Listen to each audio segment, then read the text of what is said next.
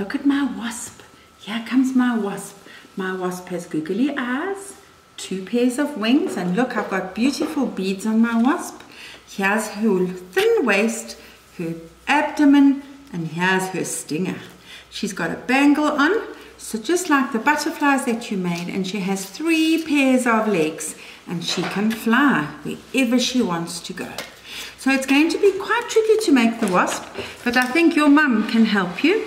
So mum, we're going to start with the um, wasp here. We're going to use white glue, and we're going to put glue over there at the pokey pointy part, and you're going to put the stinger, the toothpick stinger, over there, cover it with glue, and look at the triangle, the, the shape matches her tail.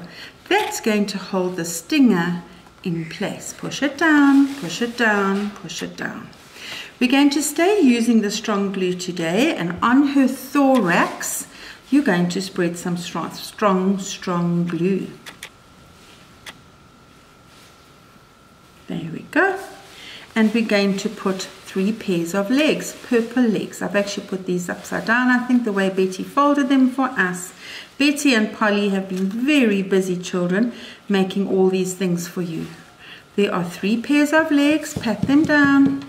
If you want to, you can make a little bend here because I'm sure you saw in the picture of the wasp, they need to be able to hold on. So you can make a little bend. There we go. Pat it down, pat it down.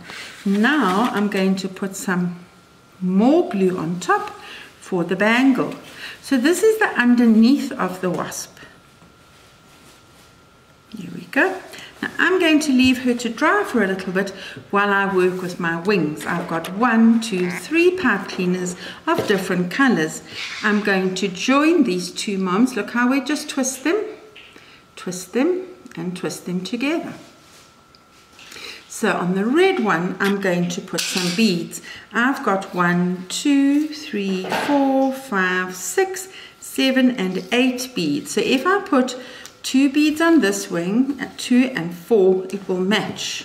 So I'm going to thread, and this is our fine motor, one, two, three, and four. You'll have to count your beads and I'm going to twist it to make a wing. There's my wing with some beads and now I'm going to put four on here. One, two, fine motor, hand-eye coordination, your eyes and your hands are working together and I'm going to twist it. You can twist it, mum can hold it, you can just twist it. Right, I have the set of big wings. Can you see the big wings there? This, this one is pink and blue. This one is red and orange. The little wings, we're not putting beads on. Find the middle. There's my middle, more or less. And I'm going to twist it over to make a little wing. And I'm going to twist it over. Children, you can do this. I know you can. So I now have small wings and big wings. And the other thing I need from my little dish is my Google eyes. One, two. Now, while I was making my wings, she was drying. I'm going to turn her over. Remember, she's still a little bit wet. And I'm now going to get some washing pegs. And I'm going to put lots of glue here. Lots of glue.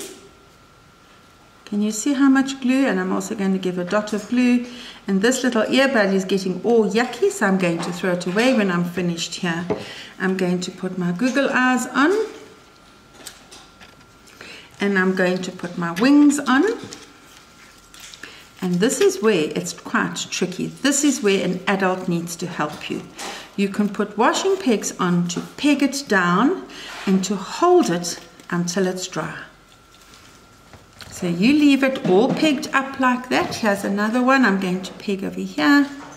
Holding the wings, let them dry. When it's dry, I made this one yesterday. Look, the wings, you can put them up, you can put them down. Oh, this little wing popped off.